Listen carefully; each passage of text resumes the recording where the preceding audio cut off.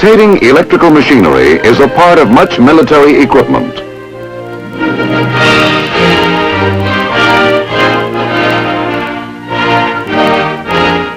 Whether it is a simple blower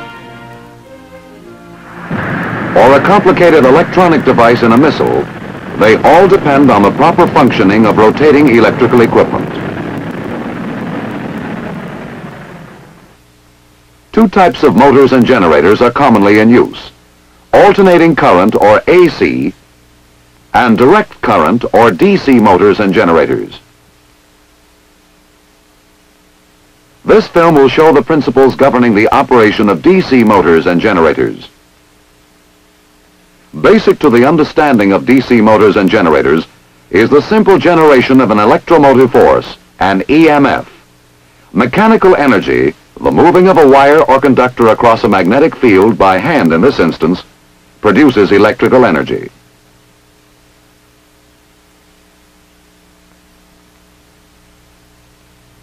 The magnetic field is composed of lines of force. As the conductor cuts these lines, an electromotive force, or EMF, is generated in the conductor.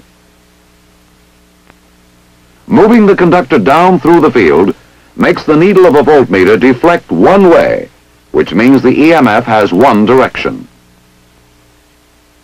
Moving the conductor up through the field produces the opposite deflection of the needle. The EMF has now changed direction.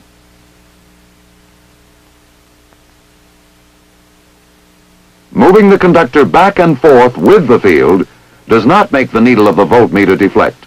There is no EMF because the conductor is not cutting the field.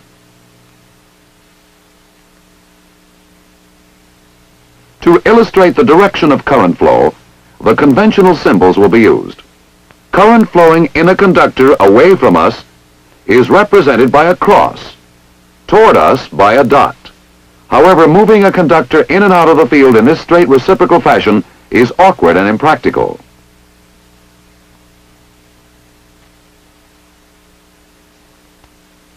A simple generator of EMF can also be made by rotating a single turn coil within a stationary magnetic field of two magnets with opposite polarity. The loop now, in effect, becomes two conductors because both the top and bottom sections cut magnetic lines during rotation.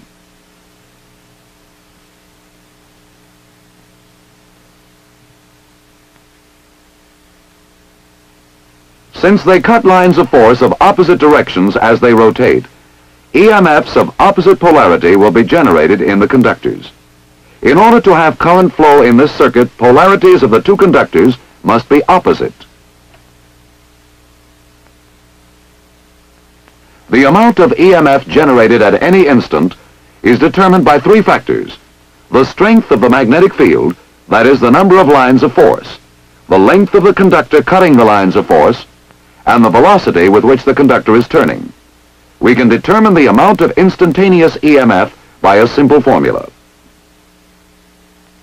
The instantaneous EMF E equals B, the strength of the field, times L, the length of the conductor cutting lines of force, times V, the velocity of the conductor. An increase in the number of lines of force or the strength of the field increases the instantaneous EMF in the conductor.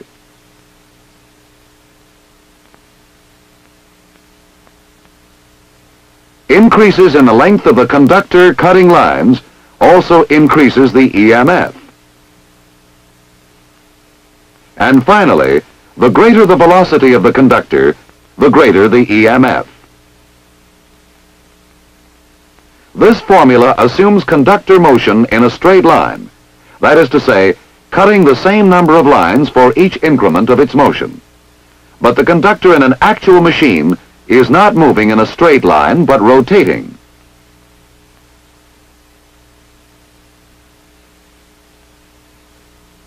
When the conductor moves in a rotary path, the number of lines cut varies depending on the position of the conductor. At the top of the field, for instance, no lines are being cut and no EMF is generated.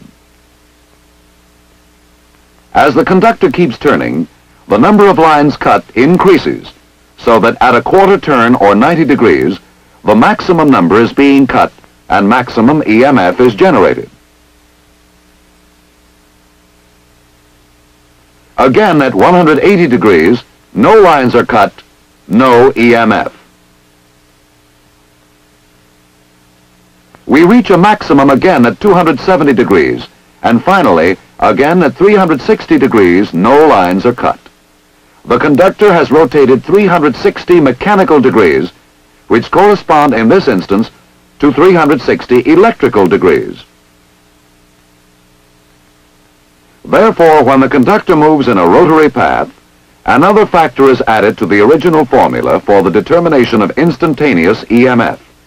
The formula that now applies is instantaneous EMF equals field strength times the length of the conductor times velocity multiplied by sine theta.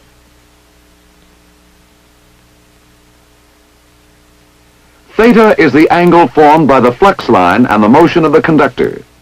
The number of lines cut and the amount of EMF generated is proportional to the sine of the angle formed by the magnetic lines with the conductor motion.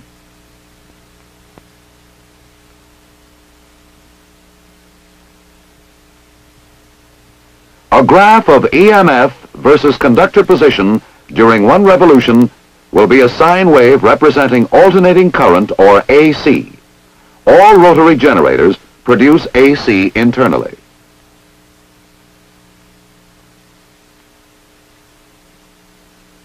What you have seen so far is really the theory and operation of a basic AC generator. But our purpose was to explain the principles of operation of a DC generator. To get direct current, we will attach each end of the conductor to a segment of copper forming a commutator. Now our machine is a DC generator. The commutator rotates with the loop.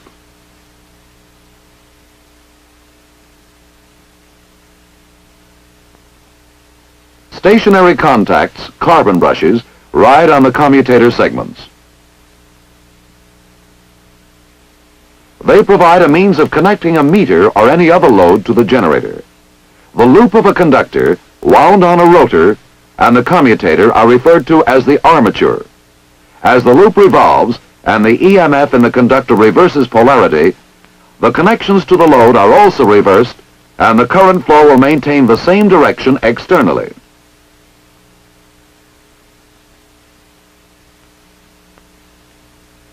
Represented graphically, the output amplitude still varies.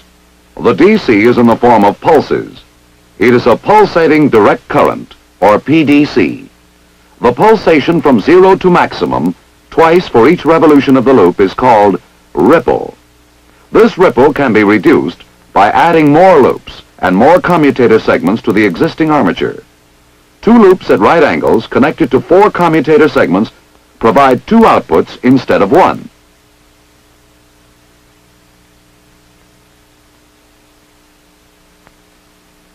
These outputs are 90 degrees displaced or apart, which combine to smooth the DC output.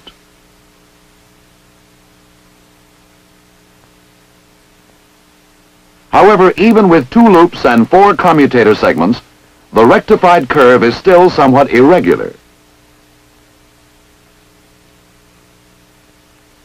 By adding magnets, we increase the number of fields cut by the armature. As we increase the number of loops and commutator segments, the variation between maximum and minimum value decreases.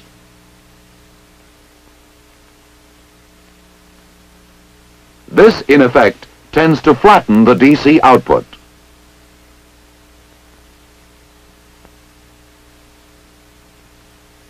Practical DC generator armatures have a great many loops wound on a rotor.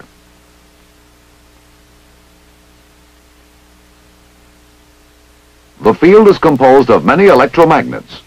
Together these factors tend to create an almost pure DC output. An important problem in the design of generators is the prevention of sparking between the commutator and the brush assembly. The prevention of sparking depends on the position of the brushes.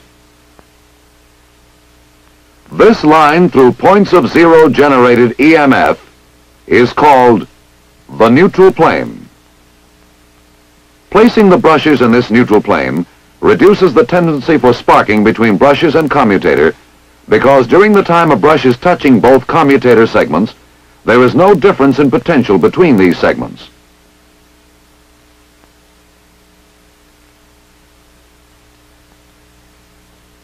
Theoretically, no sparking should occur at the commutator brushes when they are placed in this position.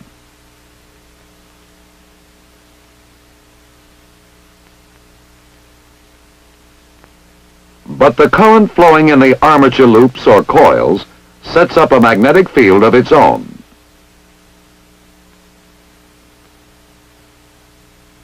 This magnetic field interacts with the main magnetic field and distorts it.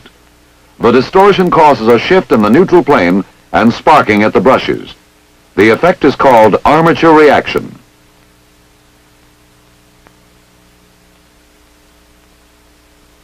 Sparking may cause severe interference in nearby electronic equipment.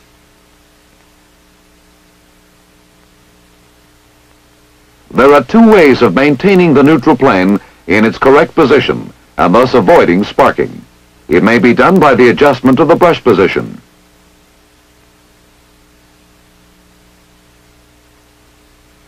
The brushes are adjusted to lie in the adjusted neutral plane.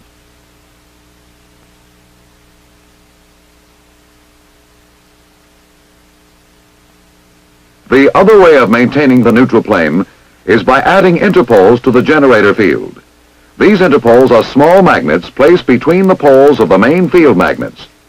The interpole fields oppose the fields created by armature reaction. The neutral plane is moved back toward the correct position.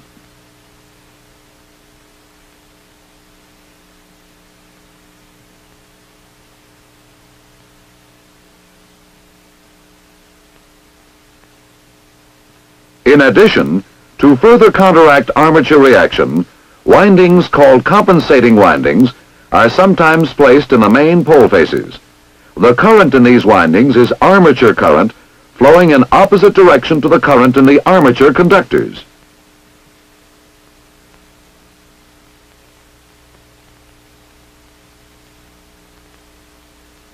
Magnetic fields in DC generators may be produced by electromagnets or permanent magnets. Permanent magnets are used in relatively small devices like a field telephone ringing generator. In larger generators, the field is created by electromagnets.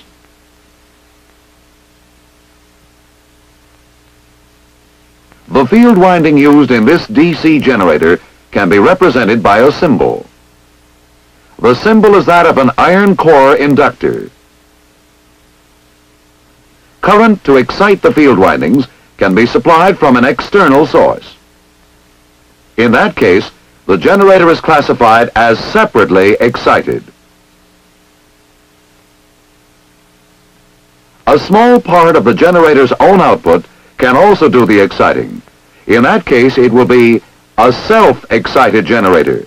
Self-excited generators must be initially magnetized.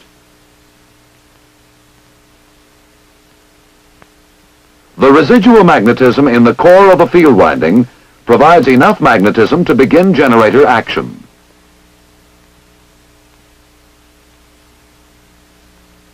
The field coil winding may be connected in several ways. This is a series wound generator, which means the field coil is in series with the armature. Because of this series arrangement, it has poor voltage regulation. The reason for this can be demonstrated in the following manner. Additional load will cause more current to flow in the field coil. Increase in field strength increases voltage. Increase in voltage causes more current to flow. This continuing action stops only when the core is saturated.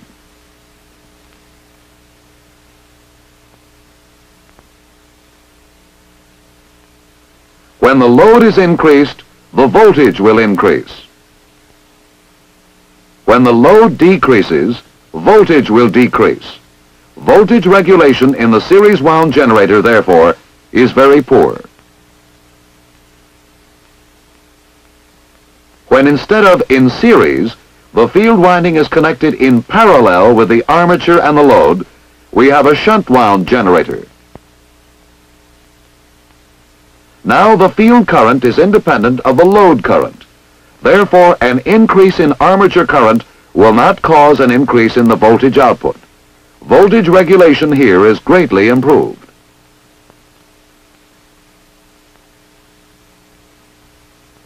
In shunt wound generators, therefore, changing load causes relatively small change in voltage output.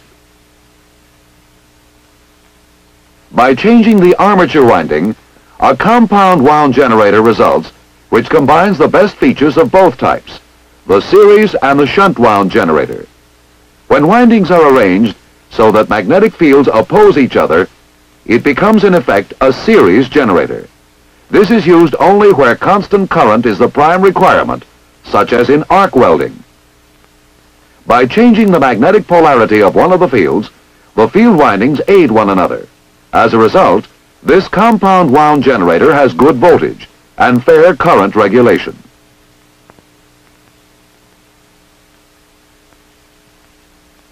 A graphic representation of generator output characteristics with terminal voltage plotted vertically and armature current horizontally would look something like this. As we have seen, in the output of the series wound generator, voltage regulation is very poor. In parallel or shunt wound generators, the voltage regulation is fairly good, but current regulation is poor. Compound wound generators offer a flat compounded output that is normally most desirable.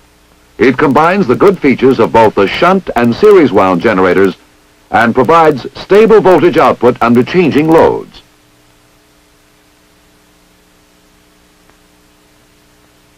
As we have seen in our analysis of the DC generator, its primary function is the conversion of mechanical energy to electrical energy. If we now reverse the procedure and connect an electrical power source to the generator, we have a DC motor instead of a DC generator. Motor action can be illustrated by attaching a power source to a conductor which is inside a magnetic field. The electric current creates polarity in the conductor. The south pole of the magnet attracts the north pole of the conductor and repels the south pole. The north pole of the magnet attracts the south pole of the conductor and repels the north pole. This creates movement depending on the direction of the steady magnetic field.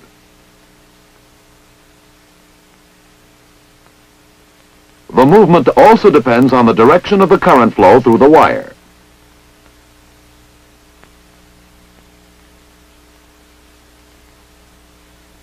By changing the polarity of the battery, the conductor now moves in the opposite direction.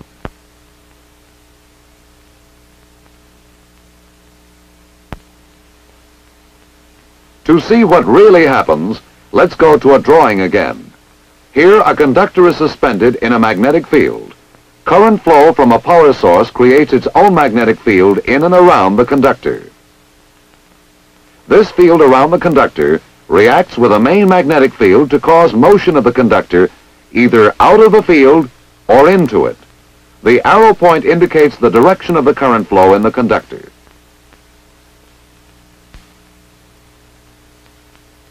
In this case, the flow is toward us. The field of the conductor has the same direction as the main field above the conductor and the opposite direction of the field below the conductor. These two magnetic forces added together distort the lines of the main field upward. The field above the conductor is thus made stronger and the field below the conductor is made weaker. So the conductor moves down.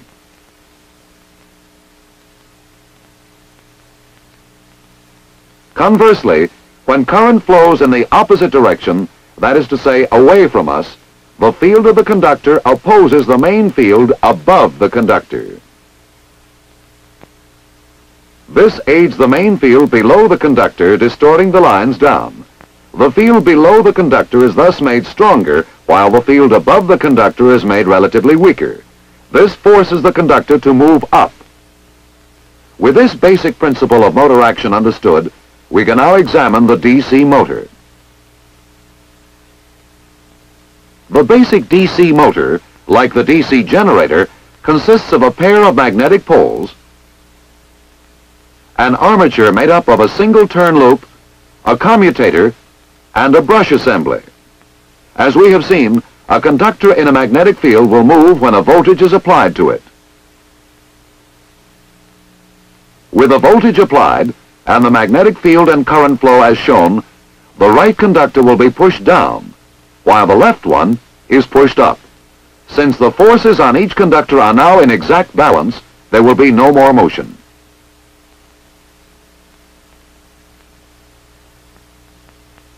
Adding another loop and two commutator segments ensures that at no time will balancing forces cancel each other out. With this setup, there will be motion at all times. As one commutator segment is moved away from the brushes, another now takes its place and the movement continues. The greater the number of loops in the armature, the smoother its motion. For this reason, Rotors in practical DC motors have many loops. Since current in the rotor loops must reverse each half cycle, two commutator segments per loop are required. Here in the motor, as in the DC generator, there is a neutral plane. The interaction of the conductor fields on the main field causes this neutral plane to shift and sparking to occur when a load is added.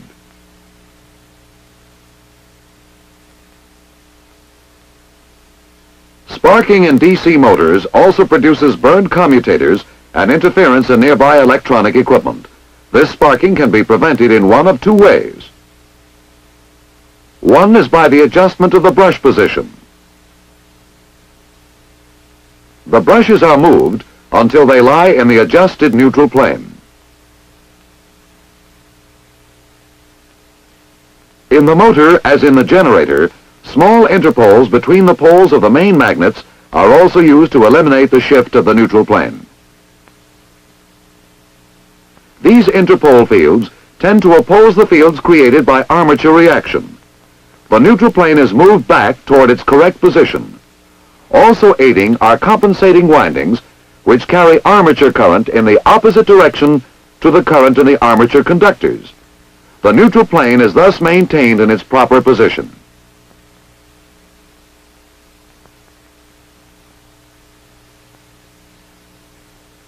DC motors operate most efficiently when sparking is eliminated. We saw earlier that when a conductor is moved by mechanical energy in a magnetic field, an EMF is generated. This is generator action. In the DC motor, when rotation is desired, it is necessary to apply an EMF to the conductor. However, when used as a motor, an opposing EMF is also generated in the conductor. This is called the counter-electromotive force, or CEMF. By Lenz's law, the generated CEMF must oppose the applied EMF. The amount of CEMF depends on the speed of rotation. This is of practical importance in large motors. When starting large motors, the problem exists of limiting current through the rotor windings until a CEMF can be built up. If the full current is applied before the CEMF develops, it may burn out the rotor windings. Starting boxes are used with DC motors in order to avoid this application of current before the CEMF is built up.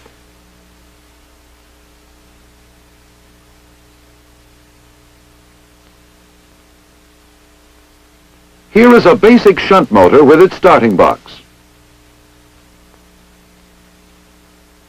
In the starting position, the circuit to the rotor windings is closed through a series of large resistance coils. As the lever of the switch is moved, rotor speed and CEMF build up gradually, and the resistance coils are subsequently cut out until running speed has been reached. the lever is held in the fully open position by an electromagnet. If for any reason the power should fail or the field coil open, the electromagnet becomes de-energized and the lever is returned to the starting position by spring action.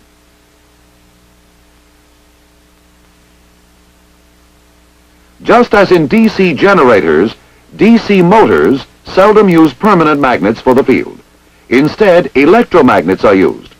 Like with a DC generator, field windings are constructed in several ways. Each type of winding has special characteristics, special values, and specific uses. The series wound motor has good starting torque or turning force. Torque depends on armature current and on field strength.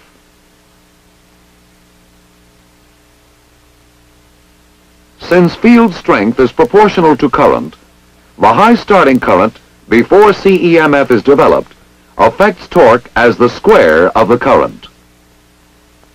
The motor begins to turn, attempting to develop enough CEMF to completely oppose the applied EMF. The load prevents this, acting to control the speed of the motor. But if the load is suddenly removed, like in the case of a broken belt, the motor will build up speed trying to develop more CEMF until it destroys itself.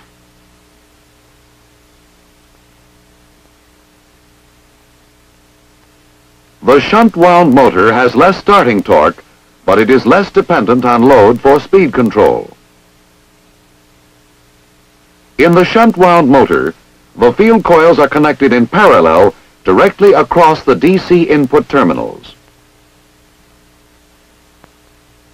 The starting torque is not as great as in the series motor since field strength is not affected by armature current.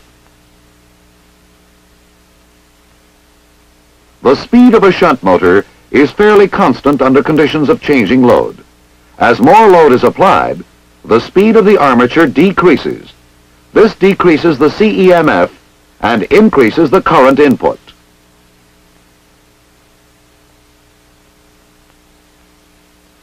The increase in current input boosts the coupling between the field and armature and increases the torque, causing the motor to resume approximate running speed. A sudden reduction in load will not damage the motor because the field current is independent of rotor current in the shunt wound motor. The desirable characteristics of both the series and shunt wound motors can be achieved in the compound wound motor. In order to obtain good starting torque, the series field is used. When running speed has been attained, a centrifugal switch cuts out the series field and cuts in the shunt field. It is now a shunt motor and the speed regulation is good.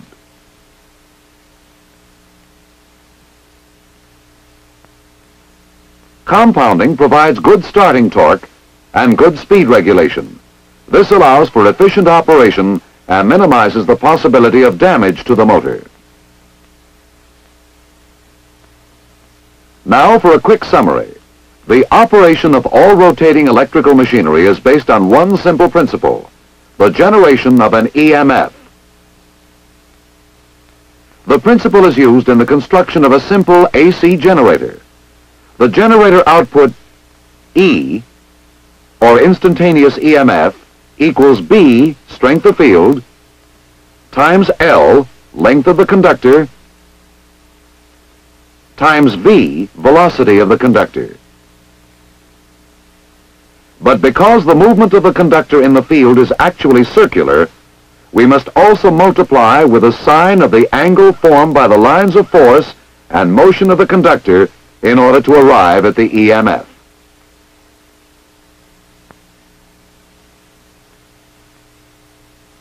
All generators are basically alternating current generators and produce AC internally.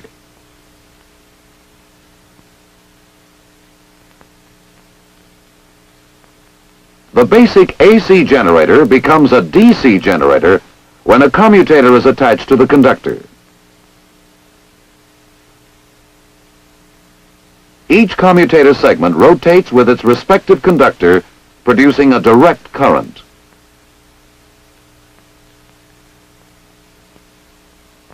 This current, which is a pulsating current, is made smoother by the addition of more magnets and more loops.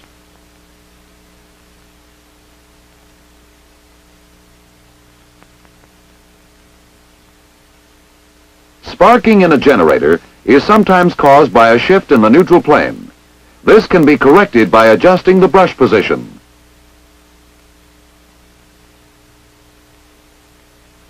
or by the use of interpoles and compensating windings.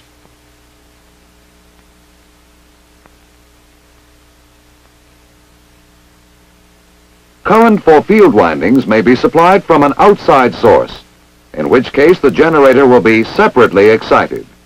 Or the current may be a part of the generator's own output, in which event it is called self-excited. Generator field windings are constructed in three ways. Series wound, where the field windings and the armature are in series. Shunt wound, in which the field winding is in parallel with the armature and the load. And compound wound, in which the best features of both the shunt and series wound generators are combined. Voltage regulation in the series wound generator is poor. In the shunt wound generator, voltage regulation is fairly good, but current regulation is poor. Compound wound generators provide stable voltage under changing loads. This output is normally most desirable.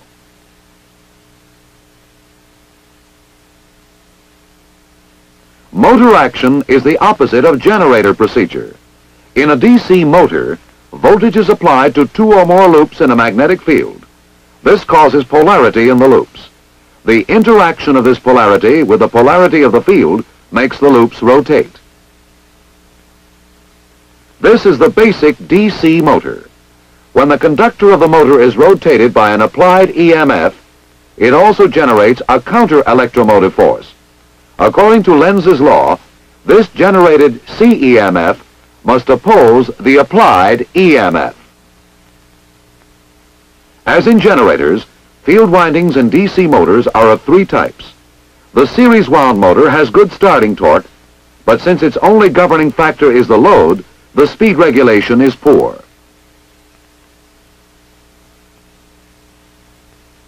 If the load is disengaged suddenly, the motor will race to destruction. In shunt wound motors, with the field coils connected in parallel across the DC input terminals, the starting torque is not too good. But since the field current is independent of the rotor current, the speed regulation is quite good.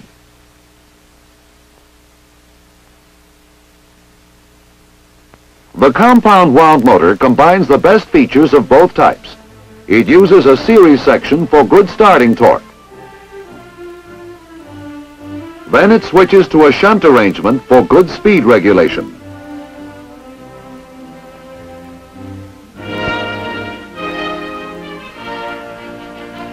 DC electrical motors and generators are at the heart of much military equipment. A proper understanding of them is therefore important.